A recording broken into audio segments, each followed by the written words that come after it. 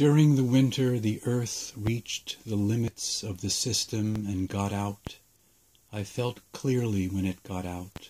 The moon shook and ruffled like injected with a contrast substance, but far less dramatic, almost not at all, like everything that was and passed. When you were entering the door in the evening, you couldn't find anything left of me on the couch in front of the TV, as like then and other times nobody ever entered the door. We could have walked through each other as we moved towards no future. Now it's a different sun with a different light, which is warming in the same way, same functions, different source. You fully understand that when you get the seat near the wing Clouds are stretching outside the protective, unbreakable window like a field of snow from which you see only as much as the wing allows you to.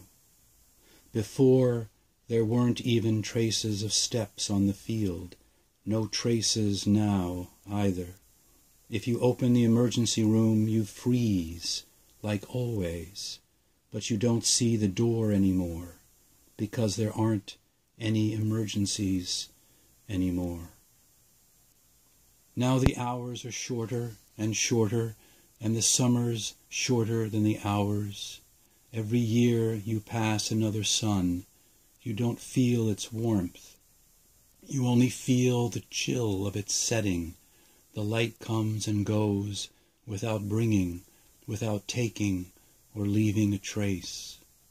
Someone from the past to whom you were tied by charm knew how to charm your surroundings.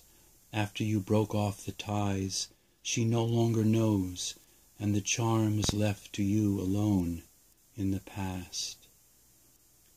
Down there near the forest, under the light layer of all the gone days, a summer rain is crossing the highway and is disappearing.